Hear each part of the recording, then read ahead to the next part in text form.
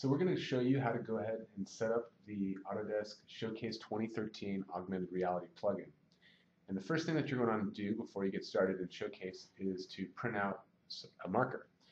Now we've gone ahead and provided some markers that already work well for tracking and you can find those once you install the AR plugin.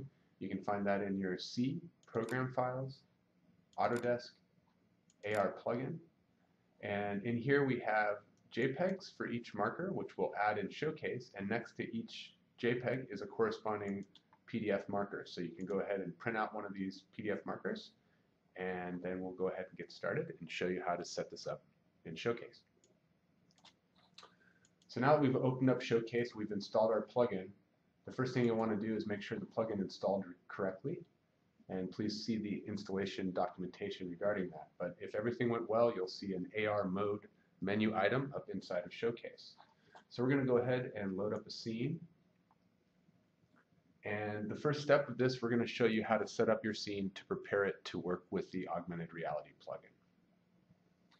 So once you have a scene loaded, the first thing that we're going to want to do is make sure we have the correct environment set. Showcase Autodesk Augmented Reality plugin uh, today only accepts uh, infinite backdrop environments. So if you press the E key, you can bring up your environments menu.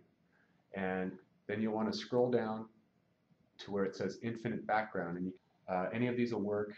And uh, I'm going to go ahead and choose a conference room setting for indoors since we're going to be augmenting some furniture inside. So now that I've selected that environment, I'll let that load up.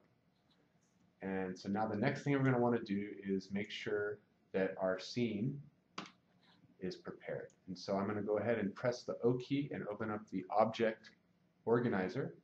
And today Showcase only works with groups, single grouped objects. So if I have all of these objects I want to augment in my scene, I need to group those together. So I'm going to go ahead and select all of those and go up and create a group.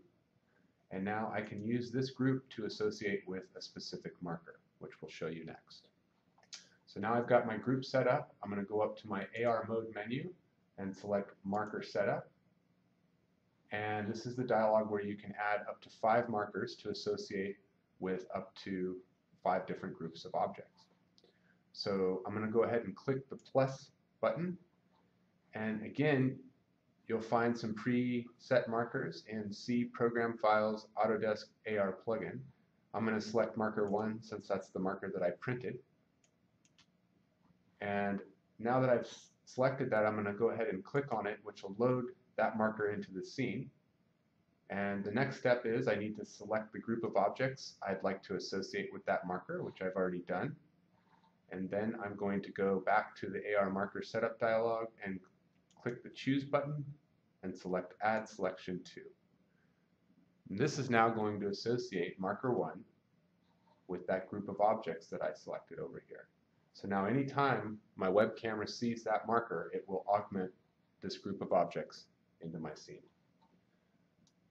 So a couple other things you can do now that you've added a marker and associated is you can scale things and essentially this is literally how the objects will display when the web camera sees that marker. So if I want to make those bigger or smaller or offset them a little bit, I can do that by just changing the size or the offset of this. So for this case, I'll just maybe scale this up a little bit and uh, just to make it a little bit bigger and then maybe move it up.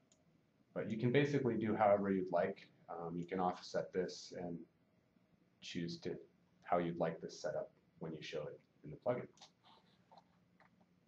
So now that I've associated my markers, got my scene set up, we're ready to run the AR plugin. So to do that, go up to AR mode and select enable. Now you can also pre-capture video with a marker in the scene and select capture from file. So that'll actually load a pre-recorded video and you can use that in place of a live webcam. But for this case, we're going to use a live webcam. So I'm going to go ahead and select enabled. That's going to give me a little notice to set up my scene, much like I've just shown you. Go ahead and click OK. And this is now going to load my web camera. And now that I've got my marker printed out in my scene. If I cover this up here, you can see there's my marker. And once Showcase sees that marker, it's going to augment that group of objects into my scene.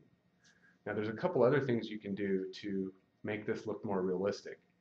So you can pause when you're in AR mode, you can pause the AR mode menu here, and then you can say set up the lighting or other things and then re resume that and it will go ahead and continue to play. So I'm going to go ahead and pause this and change the lighting a little bit to be a little bit more directly overhead. So I've paused the menu. I'll select directional light and shadows and I'm just going to go ahead and move my light around a little bit so I can get this to be a little bit more accurately lit. And then I can stop that and continue on. So while you're running in AR mode, you can also do things like look at different material options or other alternative configurations. So if I'd like, um, I've mapped these to some keyboard shortcuts here, but I can actually click on different alternative options and I can view those as well. Different material options or object alternatives and so forth. The other thing you can do is print out a larger sized marker, which I've done here on the floor. So I'm going to move this camera here. And now that I see that in my scene, I can actually augment full-size objects inside of the real-world scene. And again, be able to look at those at different configurations, perspectives, options, materials, and so forth. So that's how you're going to quickly get started with the AR plugin. The last thing I'm going to show you now is, now that you've set everything up, I'm going to disable this and show you how to save all of this configuration. So if you'd like to load, and let's say you've set up a certain size and offset and you'd like to load this at another time, you don't want to have to set this up again, you can go back up to the marker setup dialog and you can save your configuration. And this will save how you've scaled the objects and offset them respective to the marker so that you can load that the next time. So that's a high-level view of how to work with the augmented reality plugin for Showcase 2013. We hope you find some nice uses for it, and please share your feedback with us on Labs, and stay tuned for more videos in the near future on using the AR plugin. Thank you.